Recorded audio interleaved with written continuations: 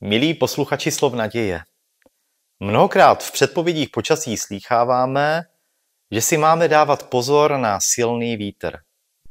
Nejsou to jenom předpovědi, ale je to i častá realita. V této souvislosti se mi vybavuje jeden starozákonní text z knihy Kazatel 11. kapitoly. Kdo příliš dá na vítr, nebude sít.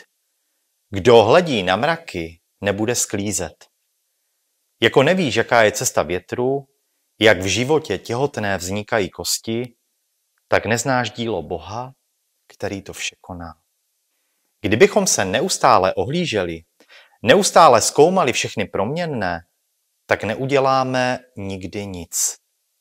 Jistě je dobré umět vystihnout tu správnou chvíli. Naučit se rozpoznat ten správný okamžik. Je ale hodně věcí, které člověk neovlivní a nezbývá nám, než se odevzdat plně do boží vůle. Radujme se, že se máme na koho spolehnout. Nestrachujme se, co kdo o nás říká, co si kdo o nás myslí, ale žijeme co nejlépe před Bohem. A On sám si nás použije tam, kde nás je nejvíce potřeba.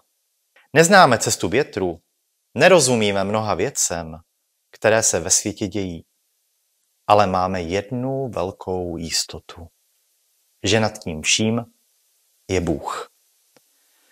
On nám odpouští naše nepravosti, uzdravuje nás, vykupuje ze zkázy náš život, je k nám milosrdný, slitovává se nad námi, sytí nás dobrem, zjednává spravedlnost a právo, hospodin je slitovný, milosrdný, schovývavý, nejvýš milosrdný a z této jistoty se radujme i dnes.